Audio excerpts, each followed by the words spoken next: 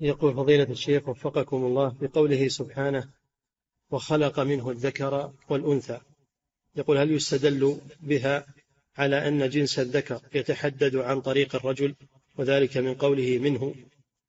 من الماء ما هو من الرجل من الماء من نطفة من مني يمنى ثم كان علقة فخلق فسوى فجعل منه أي من المني الزوجين الشكلين ذكر والأنثى. من المني. نعم. وهذا من عجائب قدرة الله أنه ماء واحد ويختلف المخلوق منه ذكر وأنثى. ورا ما صار كله ذكور أو كله إناث. نعم.